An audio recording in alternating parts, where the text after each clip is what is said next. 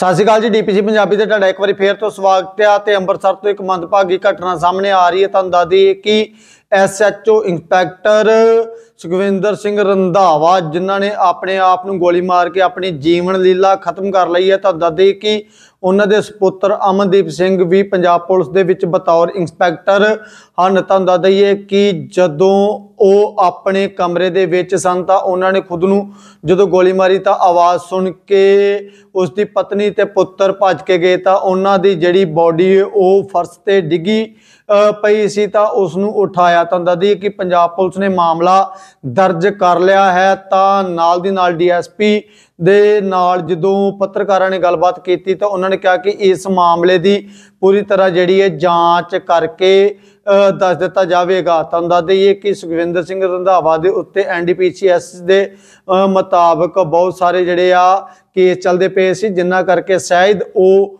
Depression ਦੇ ਵਿੱਚ ਹੋ ਸਕਦੇ ਨੇ, ਜਿਹਦੇ ਕਰਕੇ ਉਹਨਾਂ ਨੇ ਆਪਣੀ ਜੀਵਨ ਲੀਲਾ ਸਮਾਪਤ ਕਰ ਲਈ। ਤਸਵੀਰਾਂ ਤੁਹਾਡੇ ਨਾਲ ਸਾਂਝੀਆਂ ਕਰਦੇ ਆ ਆਓ ਗੱਲਬਾਤ ਕਰ ਲੈਨੇ ਆ ਕੀ ਕਿਹਾ ਜਾਂਦਾ? ਇਹ ਦਾ ਸਾਡੇ ਰਿਟਾਇਰ ਇੰਸਪੈਕਟਰ ਸਰਦਾਰ ਸੁਖਵਿੰਦਰ ਸਿੰਘ ਰੰਧਾਵਾ ਇੱਕ ਰੂਪ ਐਵਨਿਊ ਮੀਠਾ ਰੋਡ ਰਹਿੰਦੇ ਸੀ ਉਹਨਾਂ ਬਾਰੇ ਪਤਾ ਲੱਗਾ ਵੀ ਗੋਲੀ ਲੱਗਣ ਨਾਲ ਮੌਤ ਹੋ ਗਈ ਹੈ। ਅਸੀਂ ਮੌਕੇ ਤੇ ਪਹੁੰਚੇ ਐਸਐਚਓ ਸਾਹਿਬ ਵੀ ਆਏ ਨੇ। ਇਨਵੈਸਟੀਗੇਸ਼ਨ ਕਰ ਰਹੇ ਆ ਕੀ ਕਾਰਨ ਹੈ ਕਿੰਨਾ ਹਾਲਾਤਾਂ 'ਚ ਮੌਤ ਹੋਈ ਹੈ। ਕਿੰਨੀਆਂ ਗੋਲੀਆਂ ਚੱਲੀਆਂ ਸਨ ਉਹ ਸਾਡੀ ਫੋਰੈਂਸਿਕ ਟੀਮ ਅਜੇ ਇਨਵੈਸਟੀਗੇਸ਼ਨ ਕਰ ਰਹੀ ਹੈ ਅੰਦਰ।